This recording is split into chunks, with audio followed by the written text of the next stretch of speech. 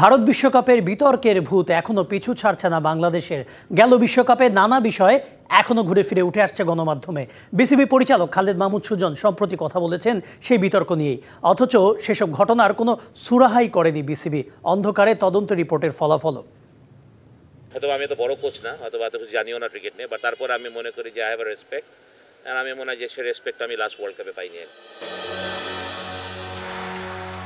ভারত বিশ্বকাপে বঞ্চনার অভিমান এখনও ভুলতে পারেননি খালেদ মাহমুদ সুজন। সেই আসরে টিম ডিরেক্টরের দায়িত্ব পালন করা এই বিসিবি পরিচালক গেল বিশ্বকাপেই পরিষ্কার করেছিলেন পরিকল্পনায় নিজের ভূমিকা না থাকার ব্যাপারটি। টাইগার হেড কোচ হাতুরু সিংহের সাথে তার মনোমালিন্য এতদিন গোপন থাকলেও সাম্প্রতিক সাক্ষাৎকারে নিজেই ইঙ্গিত দিলেন তার। এত বড় বড় কোচরা আসছে, যারা হাইলি পেড তাদের মাঝে আমি আসলে খুব ছোট একটা মানুষ এখানে না যাওয়াটাই ভালো আমার মনে হয়।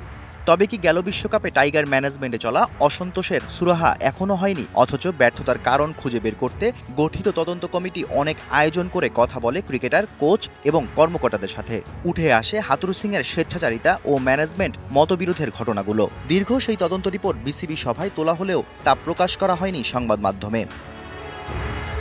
শুধু সুজন হাতুরু ইস্যু নয়, গেল বিশ্বকাপের আরও অনেক ইস্যুর এখনও কোনো সমাধান করেনি টাইগার ম্যানেজমেন্ট।